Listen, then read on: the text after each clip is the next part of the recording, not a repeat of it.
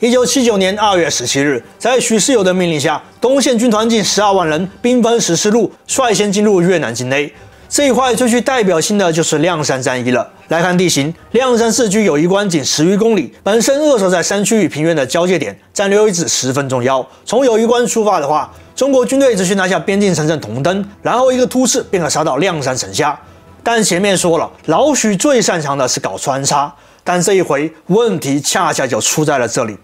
由于历史原因，中国军队屡次与火力比自己强的对手交锋，因此长期使用三三制战术，通过穿插迂回来抵消对手的火力优势。但这次对手越南人民军在火炮质量、口径和数量上远逊于中国，但中国军队仍以三三制等适合游击的战术来组织进攻，相当于主动放弃了自己在重火力上的优势。转而与轻武器火力略胜于自己的越军短兵相接，造成了大量不必要的伤亡。